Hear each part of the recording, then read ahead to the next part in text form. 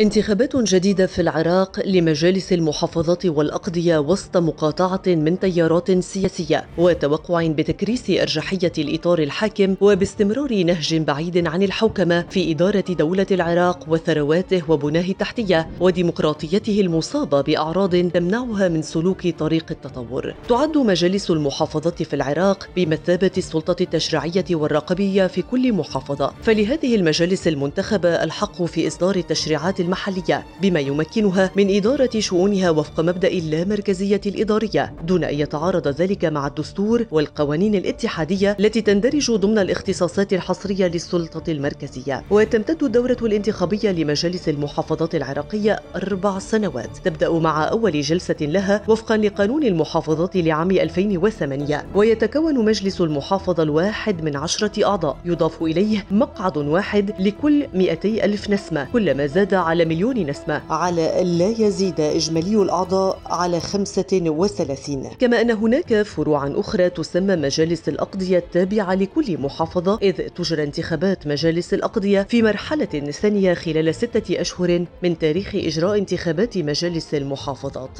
تجرى الانتخابات على امتداد 15 محافظة في العراق البالغ عدد السكان فيه 43 مليون نسمة. ولا تشمل محافظات إقليم كردستان المتمتع بحكم ذاتي. والواقع في شمال العراق. يتوجه نحو 17 مليون ناخب إلى صناديق الاقتراع في 7166 مركزا. للاختيار من بين 6000 مرشح يتنافسون على 285 مقعدا في جميع المحافظات. أكبرها عددا مجلس محافظة بغداد الذي يضم 49 عضوا. يليه مجلس محافظة البصرة ويضم 22 مقعدا. يرى معارضو هذه المجالس بأنها أوكار للفساد وتخ تخدم المصالح الخاصة الأمر الذي دفع البرلمان إلى حلها في خريف العام 2019 وهي تعود اليوم بقرار من المنظومة الحاكمة لما لها من تأثير وقدرة على التحكم بمفاصل القرار المحلي والتمهيد للتحكم بنتائج الانتخابات البرلمانية المقررة في العام 2025